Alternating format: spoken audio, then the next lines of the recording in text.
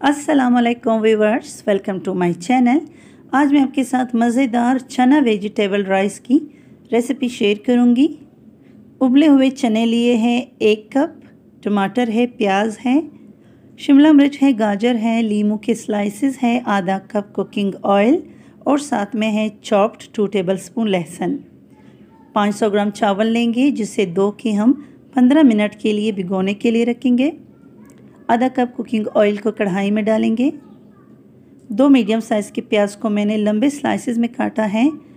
शामिल करेंगे ऑयल में और दो से तीन मिनट के लिए से हल्का सा फ्राई करेंगे। टू टेबल स्पून चॉप्ड किया हुआ हम इसमें लहसुन शामिल करेंगे। और साथ में ही हम प्याज और लहसुन को दरमियानी आँच पे गोल्डन होने तक फ्राई करेंगे। तो यहाँ पर आप देख सकते हैं, प्याज में गोल्डन सा कलर आ चुका है। लेकिन मज़ीद हम इसको थोड़ा सा और फ्राई करेंगे। अब शामिल करेंगे चार अदद टमाटर, जिसे मैंने लंबे स्लाइसेस में काटा है। टमाटर को प्याज में शामिल करेंगे दो तीन मिनट के लिए। इसको भी हम मिक्स करके फ्राई करते जाएँगे। और यहाँ पर हम तमाम घर के ही मसाले यूज़ करेंगे। वन टेबल स्पून नमक डालेंगे। टू टेबल स्पून साबित मिक्स गरम मसाला है। वन टेबल स्पून गर्म मसाला पाउडर है। टमाटर और गरम मसाले को मिक्स करके फ्राई करेंगे दरमियानी आँच पर। साबित गरम मसाले में तमाम चीज़ें मौजूद होती हैं और इस तरह से मिक्स करें। वन टीस्पून सालन मसाला शामिल करेंगे। दो ग्रीन चिलीज़ भी।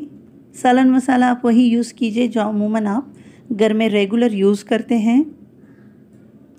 थोड़ा सा पानी डालेंगे ताकि मसाला जले नहीं। हम इसमें तीन गिलास पानी शामिल करेंगे। पानी में उबाल आ चुका है, अब हम इसमें शामिल करेंगे उबले हुए चने।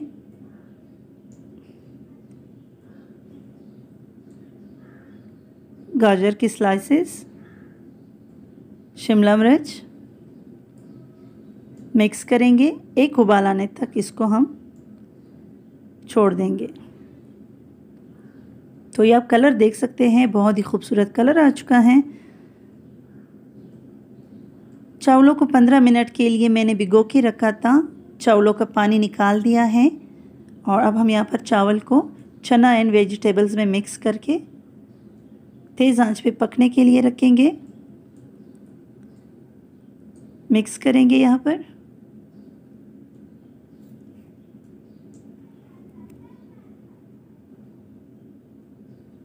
हाफ़ टी स्पून नमक मैं दोबारा शामिल कर रही हूँ। और सबसे जो ज़रूरी इंग्रेडिएंट्स है, वो है लीमू की स्लाइसेस इससे क्या है कि चावलों में एक बहुत ही अच्छा जायका भी आ जाएगा और हमारे जो चावल है, वो टूटेंगे नहीं। तो इसलिए हम इसमें लीमू की स्लाइसेस भी शामिल करेंगे। मिक्स करेंगे यहाँ पर। इसे हम कवर कर देंगे तेज़ आँच पे आठ से दस मिनट के लिए। पकने के लिए छोड़ देंगे जब तक इसका पानी ड्राई नहीं हो जाता। तो 10 मिनट हो गए हैं और पानी तकरीबन ड्राई हो चुका है, लेकिन अब नीचे इसमें और भी पानी है थोड़ा सा हम इसको दम पे रखेंगे 15 मिनट के लिए। तो ये देखिए व्यूवर्स 15 मिनट बाद ये इस तरह है, अब हम इसमें शामिल करेंगे। कटा हुआ हरा प्याज, जिसे मैंने बारीक बारीक चॉप कर लिया है इससे बहुत ही अच्छी खुशबू आती है, जायका भी बहुत मज़े का होता है। स्प्रिंकल करेंगे हरा प्याज और पाँच मिनट के लिए कवर करेंगे लो फ्लेम पर। तो ये अब देख सकते हैं, माशाल्लाह हमारे मज़ेदार से चना वेजिटेबल राइस तैयार है। अब हम इसे डिश आउट करेंगे। तो ये है फ़ाइनल लुक, ज़रूर इस रेसिपी को ट्राई कीजिए। रमज़ान में ट्राई कीजिए, किसी भी दावत के लिए ट्राई कीजिए। चैनल पे न्यू है तो ज़रूर सब्सक्राइब करें। वीडियो अच्छी लगी हो तो लाइक करें शेयर करें और मुझे दीजिएगा इजाज़त। अल्लाह हाफिज़।